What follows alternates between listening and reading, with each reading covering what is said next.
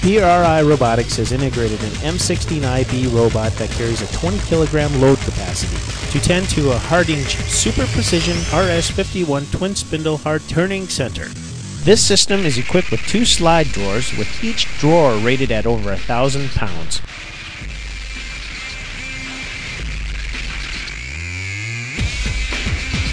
System is designed to handle 40 plus different parts. Each part has only four taught positions. The robot then calculates offsets based from these positions for the entire cycle of parts.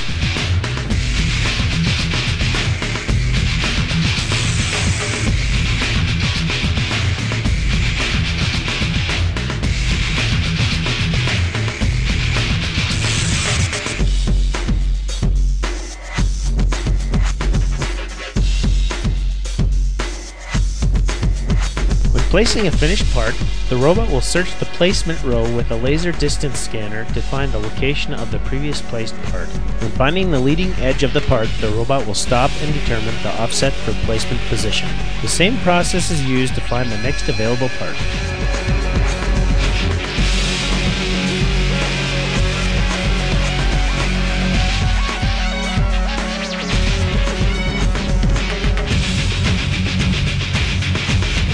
Each drawer has been fitted with removable trays, allowing for quick part changeover.